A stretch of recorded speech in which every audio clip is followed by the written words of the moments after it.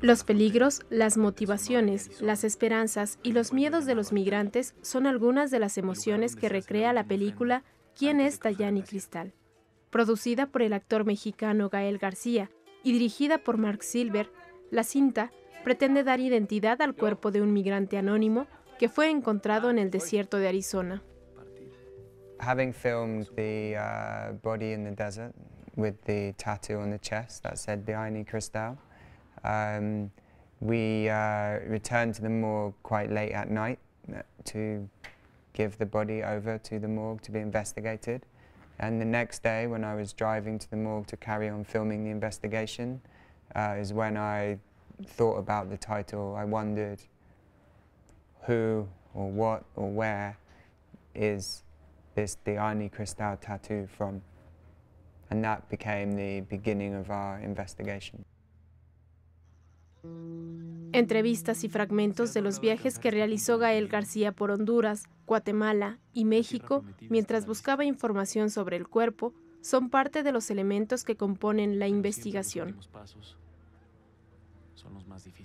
When we made four short films about the abuse of migrants traveling through Mexico, um, and our uh, working relationship carried on for who is Diani Cristal. And it was a very, uh, I think, hum humbling experience to be uh, working with him to try and work out how we could tell the story of someone that we'd never met, that we didn't know their exact journey from south to north. And uh, we were in the hands of real migrants who were making that journey themselves. So it was a very humbling experience. Después de la serie de cortometrajes Los Invisibles, Gael García y Mark Silver presentan su nueva producción con el objetivo de dar voz a las historias humanas que suelen ignorarse en el sistema migratorio.